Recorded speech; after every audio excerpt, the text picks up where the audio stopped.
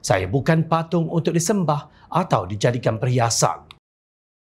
Yang di-Pertuan Agong Sultan Ibrahim Sultan Iskandar menzahirkan rasa murka dan duka cita berhubung penjualan stoking yang bertulis kalimah Allah di kedai serbanika KK Supermart dan mahu tindakan sekeras-kerasnya diambil terhadap mana-mana pihak yang didapati bersalah berdasarkan siasatan pihak berkuasa. Sultan Ibrahim bertitah kalimah Allah dipandang sangat tinggi oleh umat Islam. Justru isu tersebut tidak seharusnya timbul. Saya baru sahaja menegur dan mengingatkan akan kepentingan rakyat apabila bangsa bersatu padu dan menghormati antara satu sama lain dalam titah sulung saya di Parlimen timbul pula perkara ini sama ada ia disengajakan ataupun tidak, sama ada ia diimport atau dikeluarkan di kilang tempatan. Saya mahu penguatkuasa siasat dan ambil tindakan sekeras-kerasnya mengikut lunas undang-undang yang ada supaya pisang tidak berbuah dua kali. Titah Sultan Ibrahim dalam kenyataan yang disiarkan di laman Facebook rasminya seperti dipetik bernama. Sementara itu, pemangku Sultan Johor Tunku Mahkota Ismail Sultan Ibrahim turut bertitah agar pihak berkuasa mengambil tindakan tegas dalam perkara itu bagi mengelak kejadian sama berulang. Terdahulu pengasas KK Supermart Datuk Seri KK Chai dan pembekal stoking Zin Jian Chiang Senia Berhad telah membuat permohonan maaf berkenaan isu tersebut. Namun sejumlah pihak tidak berpuas hati dengan langkah itu antaranya pemuda amanah dan pemuda AMNO yang mahu KK Supermart menaikkan kain rentang permohonan maaf di kesemua 881 cawangannya. Kes itu kini dalam siasatan polis dan Ketua Polis Negara Tan Sri Razaruddin Hussein Husin semalam berkata pihak KK Superman akan dipanggil dalam masa terdekat. Tunku Mahkota Ismail juga mengingatkan masyarakat agar menjaga keharmonian negara dan tidak memainkan isu sensitif yang melibatkan agama, kaum dan raja-raja.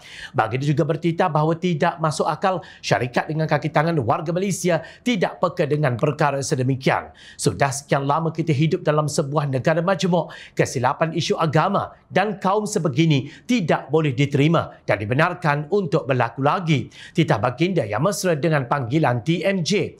Dalam masa yang sama, Tunku Mahkota Ismail mengucapkan syabas kepada Majlis Agama Islam Negeri Johor atau MAIJ dan polis di Raja Malaysia atas tindakan yang telah diambil berhubung isu penjualan stoking yang tertera kalimah Allah yang tular baru-baru ini. Syabas Majlis Agama Islam Negeri Johor dan polis di Raja Malaysia Kontijen Johor sudah mengambil tindakan titah baginda.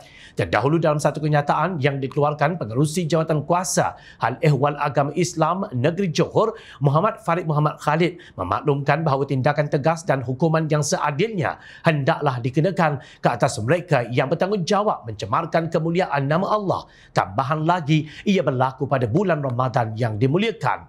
Saya akan memastikan segala kekuatan perundangan berdasarkan Undang-Undang Tubuh Kerajaan Johor 1895 juga Perlembagaan Persekutuan serta enactment dan undang-undang yang berkuat kuasa ketika ini dapat dikuatkuasakan bagi membawa pihak yang bertanggungjawab ke muka pengadilan yang sewajarnya, katanya.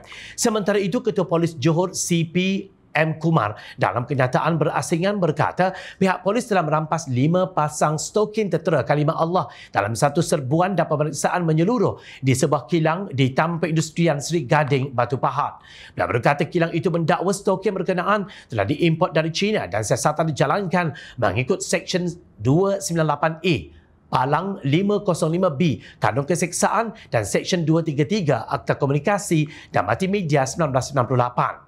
PDRM Johor menyeru orang ramai agar tidak membuat sebarang spekulasi yang boleh mengganggu gugat ketenteraman awam sebaliknya menyerahkan kepada pihak polis untuk siasatan dan tindakan lanjut katanya.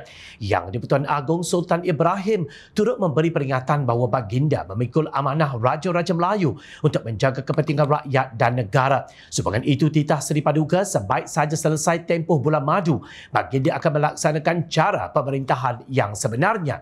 Saya bukan patung untuk disembah atau dijadikan perhiasan dalam majlis atau dipaksa mengikut segala kata dan kehendak menteri.